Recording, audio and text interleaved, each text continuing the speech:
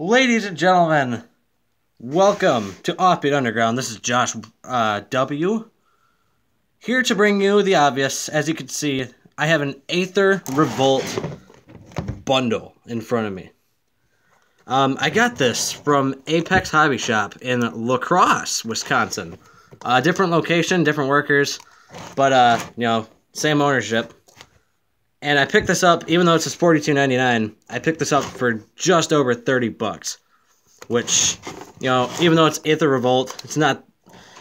The set has somewhat downgraded, but the fact that there's a damn near ten dollar uncommon in this set is absolutely nuts. Um, in the in the bundle, you can see barely.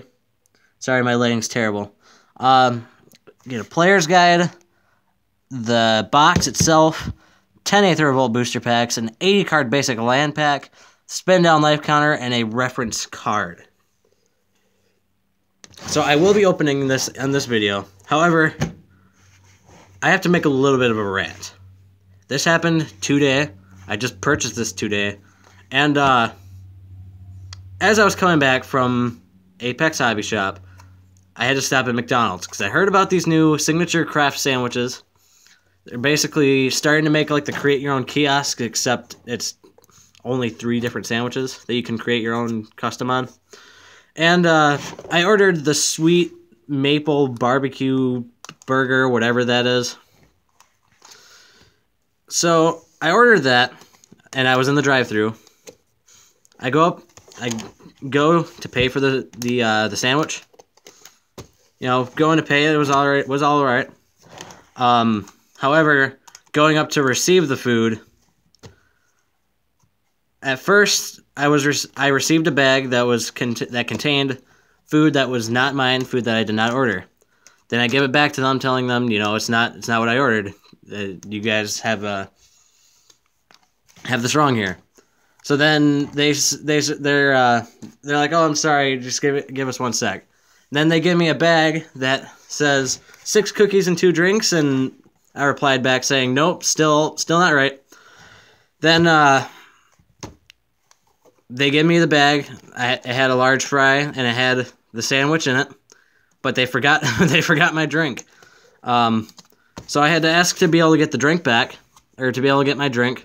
And then as as we're pulling away from the McDonald's, I open up and I get the chicken sriracha, whatever the other one that has bacon. So not so not only did I order that sandwich clearly, and not only did they give me the wrong food items on multiple different occasions, however, they still at the very end, after I pulled away and I was already too far away from the restaurant to be able to go back and return it, they gave me the wrong food item. Even though on the receipt on the packaging that the burger was on or the sandwich was on, it it showed clearly what I had ordered, but they didn't do it right. So McDonald's Onalaska, Wisconsin, get your shit together. Okay, Aether Revolt Fat Pack. Ugh. I've only ever opened one other Fat Pack in my life before this one, but I never recorded it. Uh, fat packs are quite hard to open. Oh, God, that's hurting my thumb. Break through the seal. Ah. Oh, whatever. We broke through it right up here at the top. So I'll just do it like this. So, you know, like I was saying, Aether Revolt Fat Pack uh, for just over 30 bucks. On, they were on clearance. They had way too many. Uh, you know, it's a great deal, I think. Uh, we have this little this little manual here. You know, if you guys want to read it, I mean, if you guys want to know what all cards are in this, just, know, here's the top 10 coolest. I pulled three of them out of a booster box. I have yet to find that footage. I have opened an Aether Revolt booster box, and I recorded it, but I have no idea where the footage ended up. So, yeah. Don't steal! Okay, um, I'm gonna try and get this poster un undone real quick, like. Oh yeah, um, at that same, at that same Apex in La Crosse, they have a Magic 2010 Core Set Fat Pack. However, it's a hundred bucks. You think it's worth it? Because if so, if I can save up enough and it's still available, I will go and purchase that Magic 2010 Core Set Fat Pack and I will open it. But that all depends on if it's even worth it or not. I know for an older fat pack like that, it may or may not be, but you know, whatever. So we have this little this little box here, and you know, it's cool. And inside, we have 10 Aether Revolt booster packs, the 80 card land pack, and I, and I noticed that a few times you were getting two spin downs in these. But, like, uh, that was only on very few occasions. But these only have one, but I have yet to get the Aether one, so, I mean, you know, whatever. Got the lands, I've been needing lands. Um, and you know, the 10 Aether Revolt booster packs.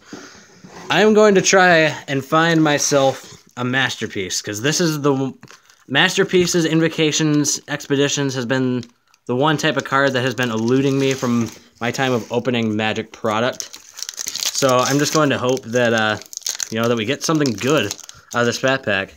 Even that, even though we only paid 30 bucks for it. Still hope for, still have high hopes.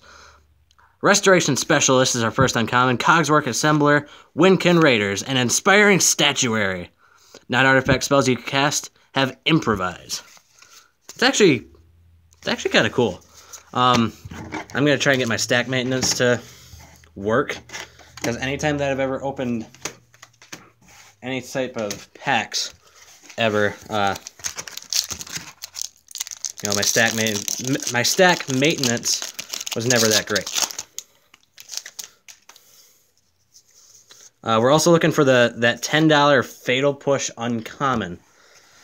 We have Deadeye Harpooner, Daredevil Dragster, Thopterus is it's alright uncommon. Freejam Regent, the 4-4 Dragon. Not that great. But you know what? We we still have eight more packs. We still have eight more packs. Stop being sour, Josh. We know we know that we're gonna get something good. I mean, Aether Revolt isn't really that bad of a set. I mean, financially, it's not that great. We all know that. Oh, we got a foil. It's an artifact. Okay, we have Gremlin Infestation is our first uncommon. Skyship Plunderer, Tezzeret's Touch, and Aethergeode Miner. 3 1 for 2. And a foil Verdant Automaton. It's actually it's actually kind of unique. Um, my my run is still trying to get a foil out of uh, an Amount pack. Has yet to come. I opened or I bought three packs a few weeks ago after the pre-release kit that you saw, and still haven't opened a foil. Which is, I mean, out of nine packs, you'd expect at least one, right? Right, first uncommon is, come on, focus. Whatever. Scrapper Champion, Trophy Mage, Reckless Racer, and Kari Zev Skyship Raider. Actually, I did. I actually needed one of her, so I'm not really sour about that. Um, they still have a few of these left, so if you're ever in the area and you want to buy a cheap fat pack, you know, 30 bucks, 10 packs, especially of Aether Revolt, which is, you know, that uncommon Fatal Push is always the the card that everyone's wanting now. um, Renegade Rallier, Spire Patrol, Siege Modification, and Yaheeni's Expertise. This card had a lot of potential. And I still believe it does. I still believe this card has potential. In all honesty. We have one, two, three, four, five packs remaining. So I've got a little bit of a uh, surprise coming for you guys that I will explain in a later video. We, I think we might have a foil here. Um, Gifted Aetherborn is our first uncommon. Narnam Renegade, Tezzeret's Tush, and SRAM's Expertise. Ah, foil, foil mountain. I mean, foil lands are pretty cool, I guess. That's another thing that we're missing here is uh, a mythic. We have yet to pull a mythic out of this. Oh, and... Oh. I thought that came with the 2-1 legendary monkey token.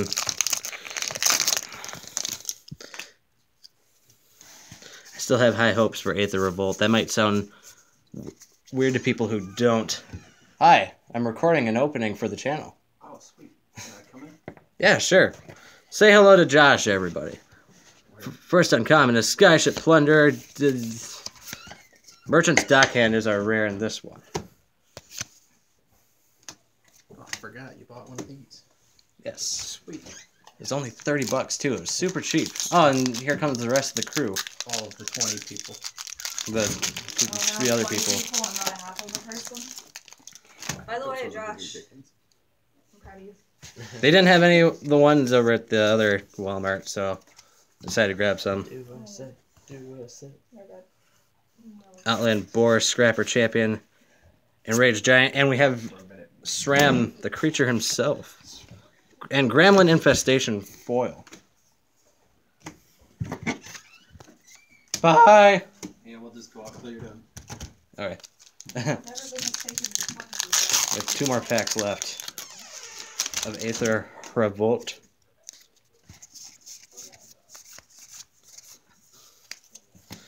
We have Foundry Hornet, Lifecrafter's Gift, Vengeful Rebel, and Solemn Recruit. Uh oh, this is about to be a dangerous, dangerous thing. Oh, last pack of Aether Revolt. So if you haven't yet subscribed to the channel, you should do that. We have some big things coming that you don't want to miss. At least I don't think you should miss. Because it'd be worth. Nope, I don't think we have a foil. That's fine though. Narnam Renegade, Illusionist Stratagem, Felidar Guardian, and Herald of the Anguish, last pack mythic. Uh, it's 5 5 improvise. With flying at the beginning of your end step, each opponent discards a card. So this this pack wasn't that it wasn't that bad. It wasn't that bad. It's just not the best one in the world. But I mean, you didn't get too great in the foil pulls, but I mean, you know, still wasn't still wasn't that bad. So this has been Josh, and I will see you guys next time.